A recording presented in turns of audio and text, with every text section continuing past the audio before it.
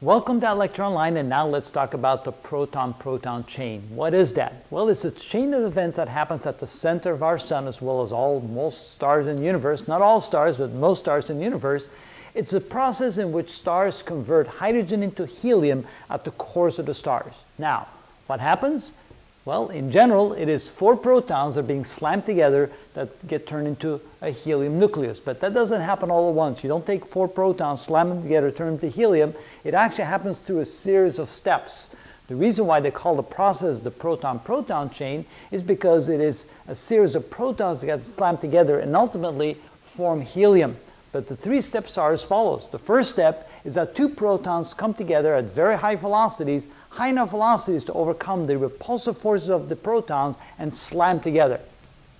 Well, how do you get two protons to move fast enough so they can actually slam together? Because the repulsive forces between the protons are absolutely enormous.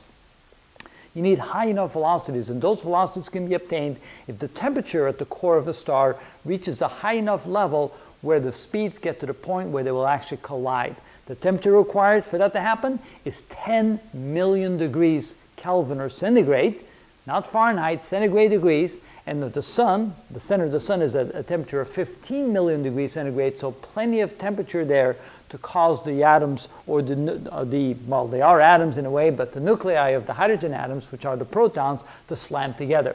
Now, when they get close enough together, there's a force called the nuclear strong force that holds the two together and overcomes the repulsive forces, the electrical and repulsive forces between the two charges of the two protons.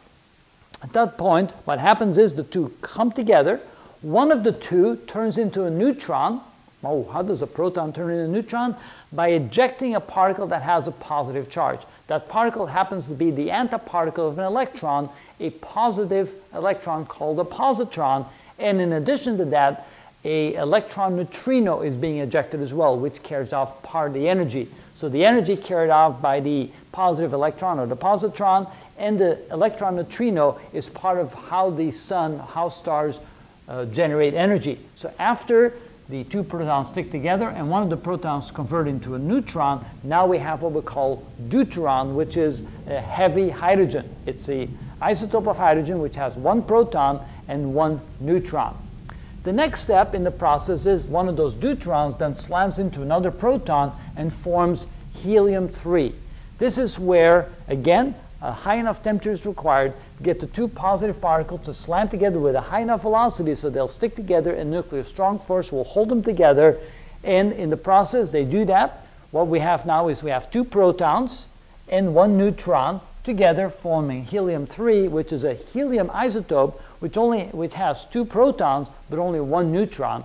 In the process, also a very high energy alpha particle, which is basically a very high energy photon, is ejected as well, carrying off some of the energy generated in the nuclear reaction.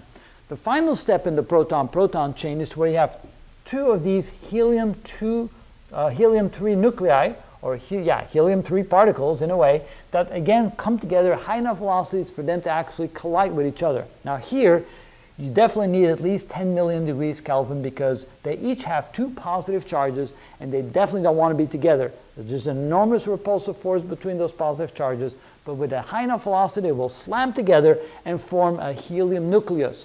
Basically, a helium nucleus is an alpha particle with, of course, all the electrons removed. Now, remember that we have a total of four protons and two neutrons that come together in the collision.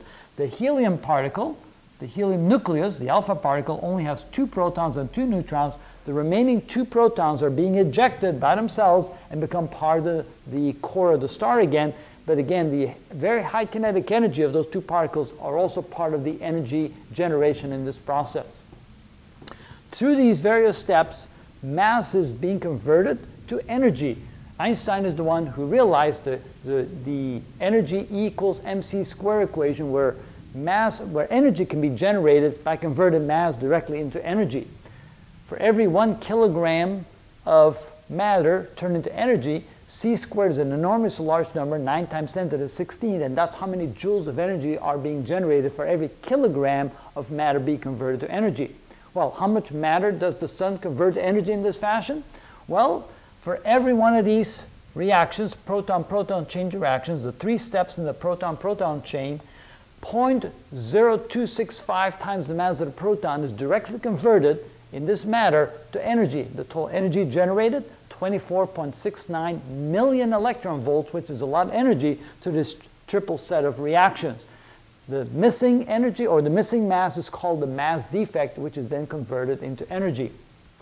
Every second of every day for the last 4.6 billion years, the sun has been converting hydrogen into helium and therefore pr producing energy by the mass to energy conversion.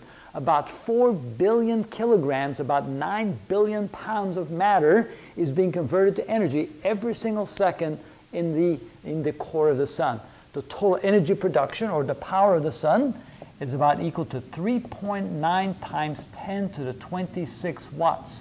So that's how much energy, that's how much power the sun produces through this, through this triple, through this uh, proton-proton chain reaction of nuclear reactions at the center of the sun. Now, how much longer will the sun be able to do that? The sun has enough matter in the core, enough hydrogen in the core to do this for another 5 billion or so years. So the total time that the sun will spend converting hydrogen to helium in this fashion is about a 10 billion year period. It's because this stable process will last, does last so long that life on the earth can exist because we have the benefit of this stable energy source that has been able to allow the earth to produce life for all these billions of years that is in has been in existence and will continue to support life with this energy production for billions of years yet to come.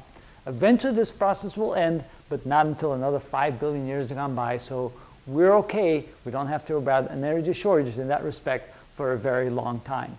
And that is what is known as the proton-proton chain, the nuclear reaction process that takes place at the center of the sun with temperatures of at least 10 million degrees to allow high enough speeds to get these objects, these protons, neutrons, and helium-3 particles to collide with each other to the point where they will join, the nuclear strong force, strong force will hold them together, and mass can then be converted to energy, producing the enormous power that the sun produces. And that's how it's done.